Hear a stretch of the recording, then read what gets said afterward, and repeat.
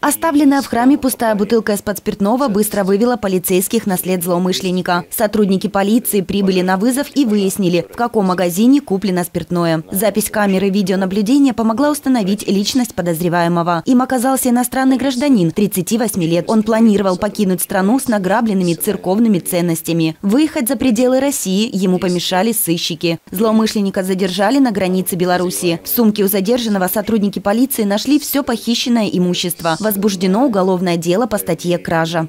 Санкция статьи предусматривает максимальное наказание в виде лишения свободы на срок до пяти лет. Виолетта Ефименко, Александр Ерофеев, Десна ТВ.